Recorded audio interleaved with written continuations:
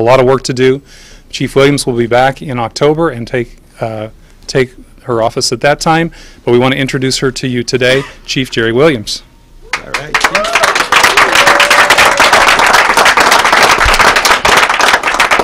So it's often difficult to have people say so many nice things about you, so uh, I'm very fortunate and very honored. So I do have some prepared remarks and statements. So um, I am today um, humbled, honored, blessed, fortunate, um, just kind of a wow experience to have been selected to be the next police chief for the Phoenix Police Department. To Mayor Stanton and the entire city council, uh, thank you for um, believing in this city. Thank you for your commitment of service.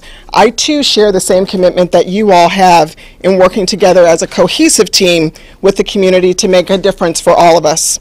Mayor, on a personal note, thank you for that cell phone call yesterday, and to Public Safety Subcommittee Co-Chair Nowakowski, thank you for their calls. They individually called me, and that means a lot uh, when folks call. To the City Manager, Ed Zuercher, and the Assistant City Manager, Milton Dohoney, um, your decision was a challenging one. Um, but I can attest and I can say, being a participant in this process, it was thorough, it was transparent, and it demonstrated the will and the voice of this community.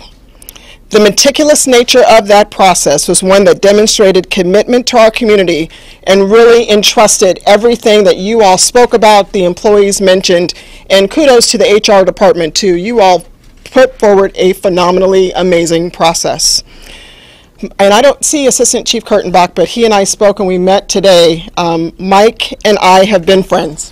So throughout this process, we said to one another, going through the process, that we were friends before, we were going to be friends later. He is a consummate professional, and I look forward to working with Mike. To my good friend, Chief Dariana, um, I am so looking forward to working with you, alongside of you, um, as we work through the process of transition. And I look forward to you handing the baton, as it was said, handing the baton to me. Um, and I look forward to continuing to make you proud. To the Phoenix community, wow. Uh, I stand before you today ready to take hold of this agency in October. I will listen to your concerns. I will be your representative. I will represent you. I will represent us uh, because I think that's what law enforcement is supposed to do. Um, and to Julian, I always have to give a special kudos to you and to Councilman Good also. Thank you so much for being here. But what Chief Yahner has done, he's done some amazing things in the time that he has been here. Under his watch, he has been responsible for de-escalation training. Under his watch, he has increased community connections. Under his watch, he has increased transparency, accountability, and the commitment to public service.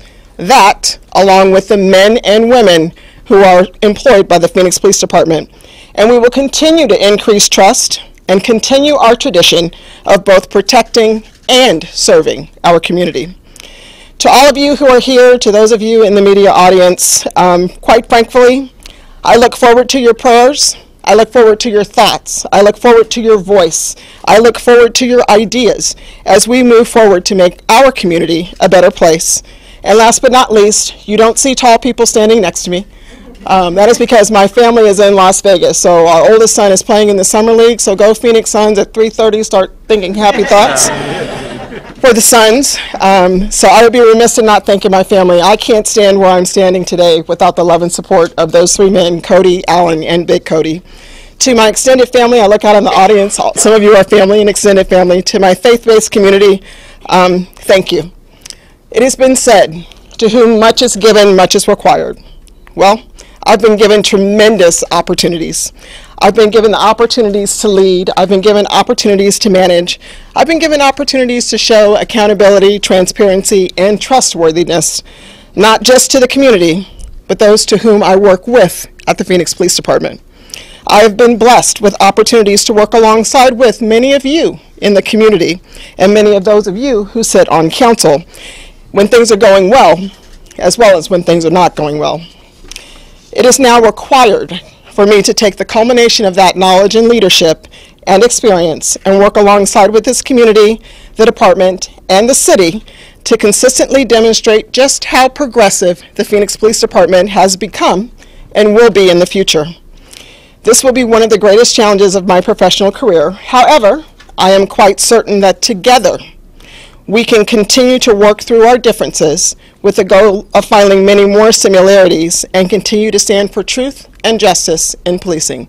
I'm truly honored, I'm truly humbled. Thank you very much.